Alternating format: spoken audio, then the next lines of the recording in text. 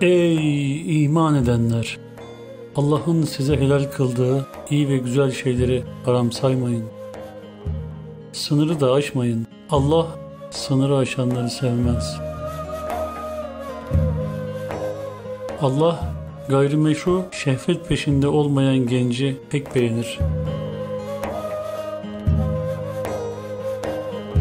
Gerçekten Allah meleklerine karşı kendisine ibadet eden bir gençle iftihar ederek buyuruyor. Ey şehvetini benim için bırakan genç, ey gençliğini bana bağışlayan genç, sen benim nezdimde meleklerimin bazıları gibisin.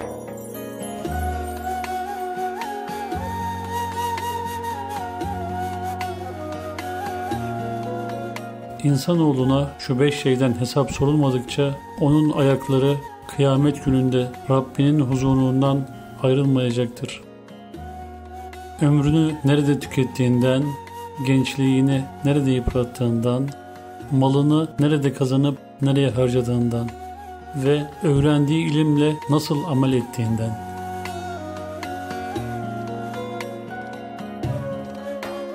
İnsanlar içinde Yüce Allah'ın en sevdiği kimse kötülükleri terk edip iyiliklere yönelen gençtir.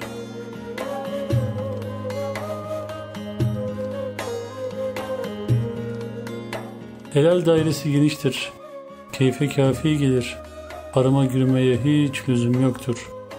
Feraiz ilahiye ise hafiftir, azdır. Allah'a abd ve asker olmak öyle lezzetli bir şereftir ki tarif edilmez.''